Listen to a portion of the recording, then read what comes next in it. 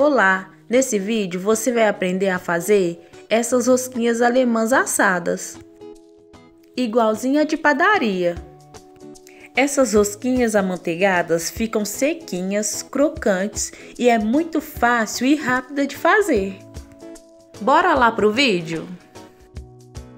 Para essa receita, você vai precisar de 300 gramas de amido de milho, 150 gramas de farinha de trigo, 150 gramas de açúcar, 270 gramas de margarina com sal, raspas de limão e um copo americano de leite. Comece colocando no bol da batedeira a margarina com o açúcar. Vou levar para bater na velocidade 3 da minha batedeira.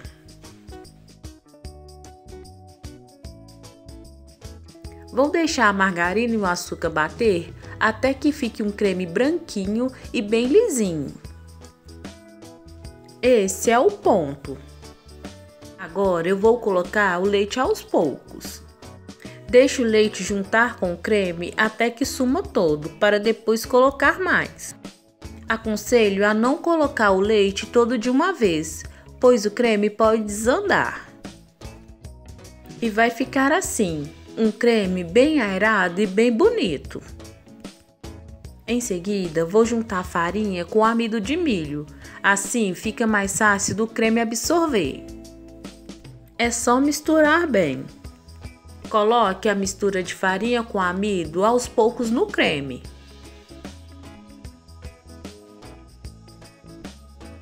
Misture bem a massa e coloque o restante da farinha. Vou misturar com a mão mesmo.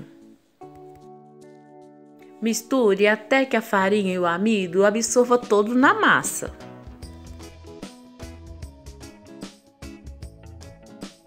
E fica assim, nessa textura, apertando as mãos e escorre pelos dedos. Agora eu vou usar uma manga de confeitar e um bico. Você pode usar uma sacola plástica mais resistente. Coloque a massa no saco de confeitar.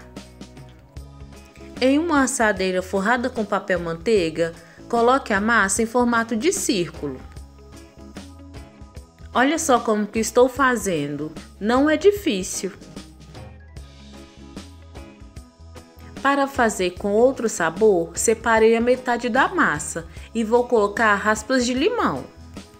Você pode estar colocando também coco granulado. Para você que gosta de receitas simples e fáceis, se inscreva no canal. Aqui você vai encontrar muitas coisas boas. Leve para assar no forno pré-aquecido a 180 graus por uns 12 a 15 minutos. E vão ficar assim, branquinhas por cima e douradas embaixo. Com poucos ingredientes, você vai fazer muitas rosquinhas alemãs assadas. Ficaram a iguais a de padaria, sequinha, crocante, derretendo na boca. Façam aí, é super simples, rápida e fácil. Tenho certeza que você vai gostar. Um abraço e te aguardo no próximo vídeo.